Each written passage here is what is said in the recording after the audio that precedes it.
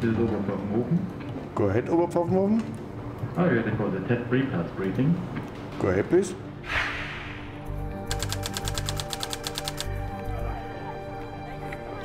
Okay, next TED pass is at 11 hours 09 minutes. Expected satellite state is sending telemetry in high rate uplink sweep as soon as possible.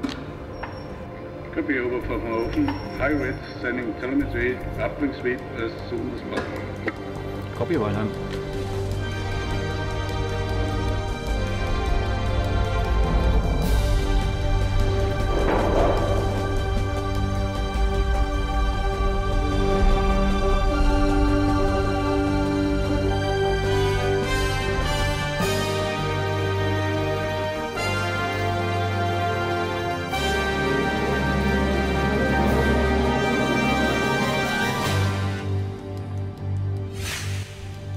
German Space Operations Center has successfully executed more than 60 space missions since 1969.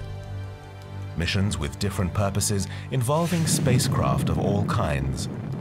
Spaceflight contributes significantly to the shaping of our lives. Space research brings us new insight into the origins of the solar system, the planets, and with that knowledge of life itself.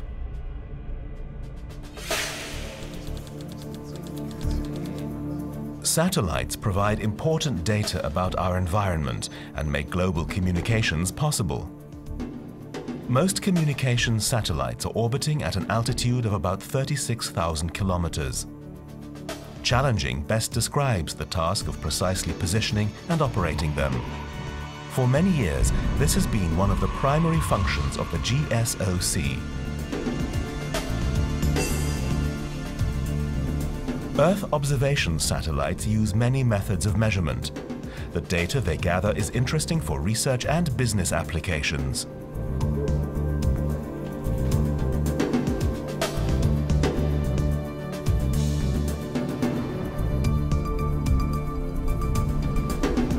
Ground stations equipped with antennas are needed to communicate with the spacecraft.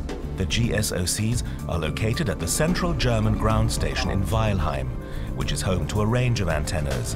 Data exchanges between the control room and satellites takes place via these dishes.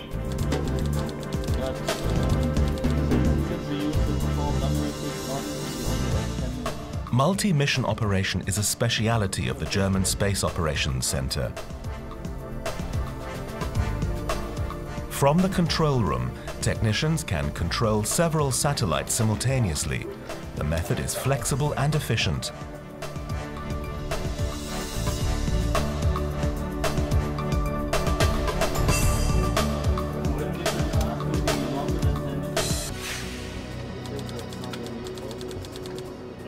On-orbit servicing includes inspection, towing and maintenance of satellites in orbit.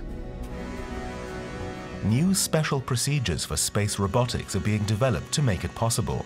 Together with DLR's Robotic Institute, the EPOS facility has been set up for the optimization of maneuvers. Approach and docking between two satellites are being simulated here. The operation of the European Space Laboratory Columbus is directed from the GSOC.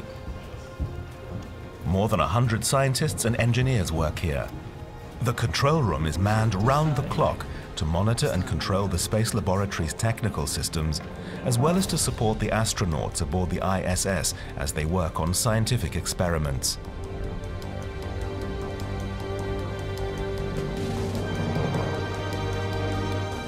The GSOC is the leading European facility for manned spaceflight.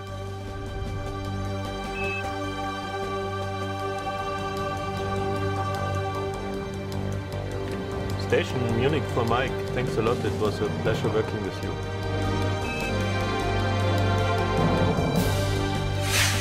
Trois, deux, un, top.